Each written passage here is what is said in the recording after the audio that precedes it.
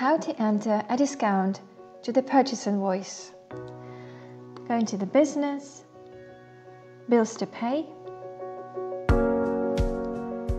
If you're selecting a new bill, you can simply click new bill.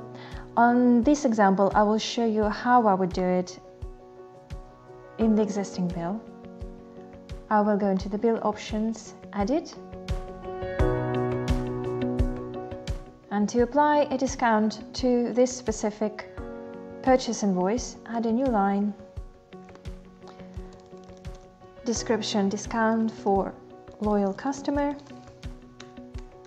and enter this amount as negative. Use the same account and all information.